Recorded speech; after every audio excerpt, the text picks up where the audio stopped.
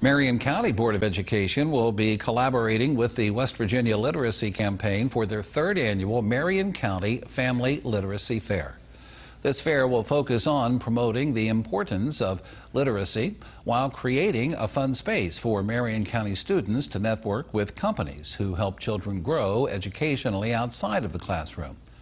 During the event, all the children will receive free items ranging from school supplies, gift cards, food selections, and more. Each vendor is representing literacy for the day.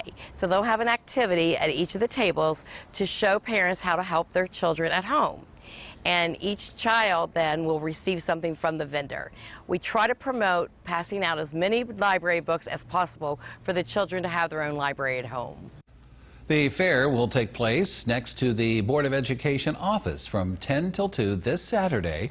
And you can visit our website for a list of available activities and vendors.